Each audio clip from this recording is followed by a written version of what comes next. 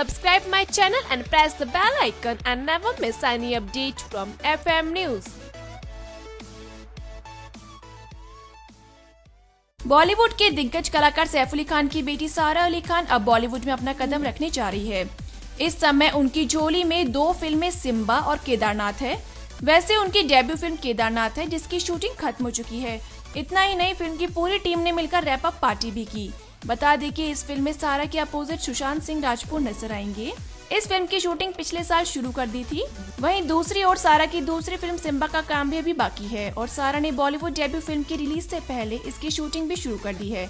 हाल ही में सारा हैदराबाद में इस फ़िल्म की शूटिंग कर रही थी। सिम्बा में सारा अली खान, रणवीर सिंह के साथ लीड रोल निभाती दिखेंगी।